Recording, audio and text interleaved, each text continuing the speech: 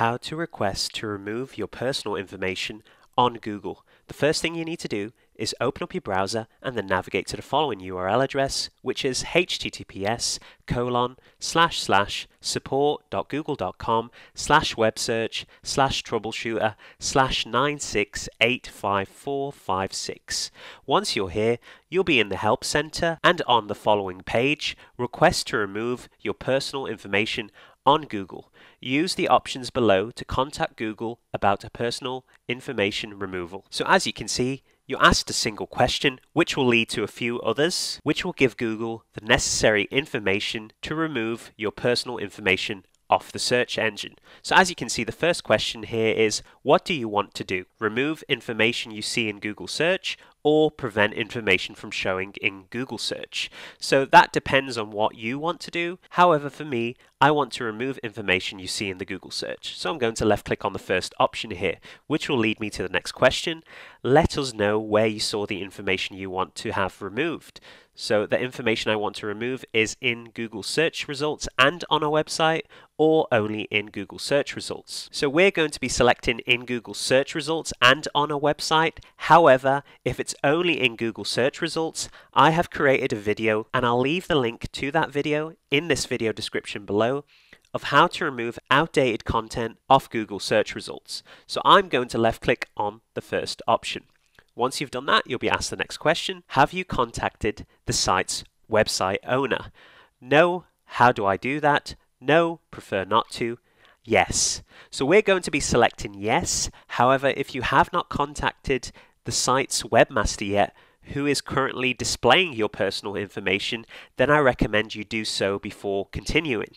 I have also made a video on this, and I'll link it in the video description below, of how to contact a webmaster to request removal of your personal information. Have you contacted the site's webmaster? We're going to be selecting yes for this video. Next, you'll be given four choices. I want to remove personal info like ID numbers and private documents, explicit items, or names on explicit sites, contact about me on sites with exploitative removal practices, content that should be removed for legal reasons. So, depending on what your personal information is being displayed on Google and the website, you'll need to select one of these. I'm going to be picking the first option, which is personal information like ID numbers and private documents. So, I'm just going to left click on this. Next, you'll need to pick the type of personal information currently being displayed, such as contact information like addresses, phone number, or email addresses that has been shared in a malicious or harassing way, also called doxing, a government issued ID number,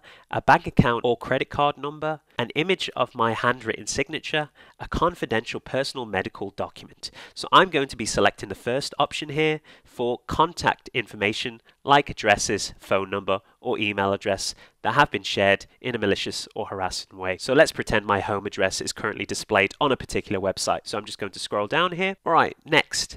This form can be used to request removals of URLs with contact information that has been shared in a malicious or harassing way, in accordance with our anti-doxing criteria. Any removals require both of these things to appear on the web pages submitted for review. Contact information number one, number two, threats, including calls for others to harm or harass. We will review your request and, if approved, the URLs will no longer appear for searches relevant to the name of the person being threatened. Please note that we will not take action on ordinary uses of contact information such as online directories, business and real estate records, government documents, etc. Please note this form is only for removing content that is still live on the web. If the content is no longer on the website but is still appearing in Google search results or as a cached page, please use remove outdated content tool, which I've said previously I've made a video of before and I'll link that in the description below. This is a much faster process to remove content that's no longer live. Required field Yes, the content is available live. No, the content was removed from the website.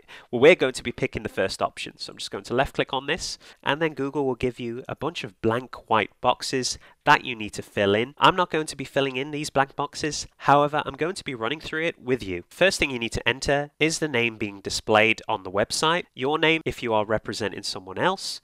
Next, If you are submitting this request on behalf of someone else, please specify your relationship to that person or how you have the authority to act on their behalf. So that's only if you're doing it for somebody else. Next, you need to select your country. That should be auto-filled for you depending on your IP address, a contact email address, and next, removal request. So the query of terms, these should be the names or other identifiers that when used in search return the result you would like to report. If you wish to submit multiple identifiers, e.g. if the maiden name differs from your current last name, enter each on a separate line by clicking add additional. So there's an add additional button here and you just literally type in the search terms that bring up the site containing your personal information.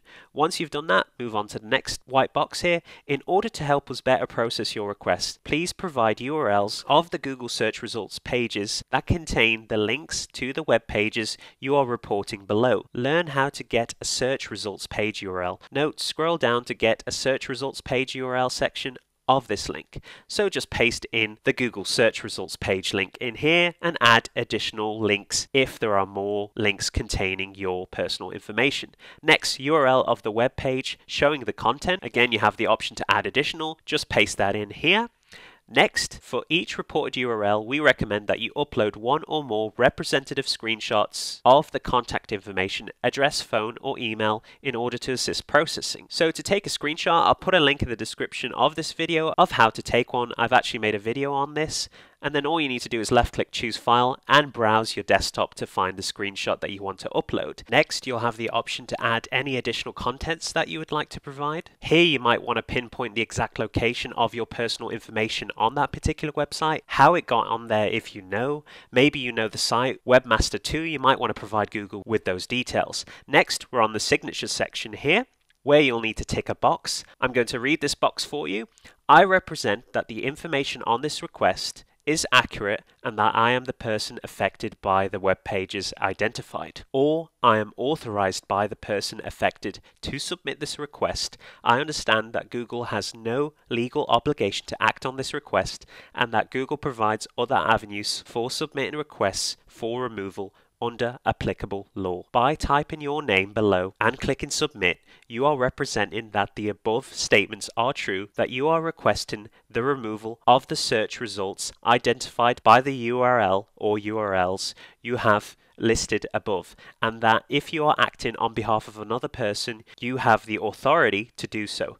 Google LLC will use the personal information that you supply on this form, including your email address and any identifying information, for the purposes of processing your request and meeting our legal obligations. You'll need to type your name into this box, sign the date, and make sure you tick this little box here. Once you've done that, all that's left to do is left click on submit and now you've completed your request to Google to remove your personal information from their search engine. Once you've done that, Google should then correspond with you further down the line, giving you the result of your removal request, whether it has been successful or whether Google has denied your removal request. Alright guys, that pretty much concludes the video. I hope you enjoyed. If you did, be sure to give this video a like, comment down below, and most importantly of all, subscribe to support the channel. I'll see you on the next video.